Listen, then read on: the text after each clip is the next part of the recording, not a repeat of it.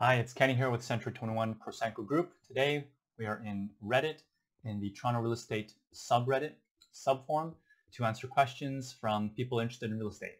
So the question from Eden Bound asked is, advice needed, is it normal to pay a huge upfront cost then to have it adjusted after? Short answer is no. Okay, and here's the long answer. So uh, this person who's bought a home has said that they're, they're, so they're the buyer and their own lawyer has told them that the seller's lawyer has asked the buyer, the, the, the original poster here, to wire $10,000 to the seller's lawyer to cover any closing costs. And the buyer is remarking that this seems extremely high, especially for the house, which is only about 400K and annual taxes of 2,000, and the fact that they're first-time home buyer. So I completely agree. It to me, either there's a huge miscommunication between the two lawyers and then the buyer's lawyer and the buyer, or one or both the lawyers are kind of negligent in this regard. So reason I say that is because typically in real estate transaction, the two lawyers, the buyer lawyer and the seller lawyer, communicate each other the amount that's due through something called a statement of adjustments.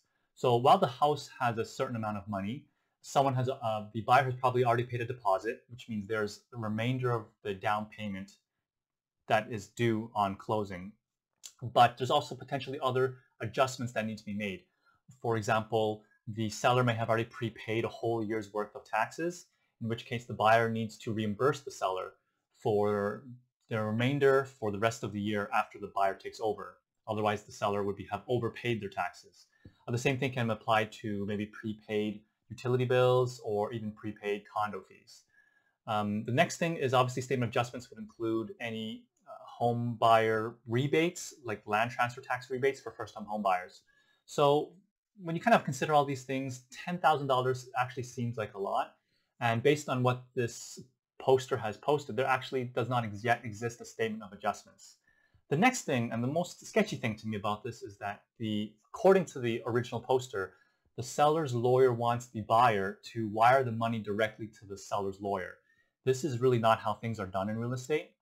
The only check typically that a buyer writes is a bank draft um, that is written to their own lawyer's in trust bank account the buyer never sends money directly to the seller's lawyer or the seller unless the seller lawyer and the buyer lawyer happen to be the exact same lawyer for the deal.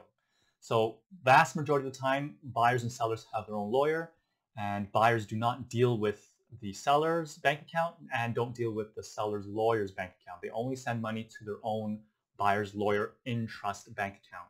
So that is enough to make me very sketched out. So I posted to this person to double check and don't send any money unless they have a statement of adjustments and only send money to the buyer's lawyer. Okay, which is their own lawyer, which is supposed to protect them, by the way. If you have any questions, let me know. Hopefully this helps. Bye.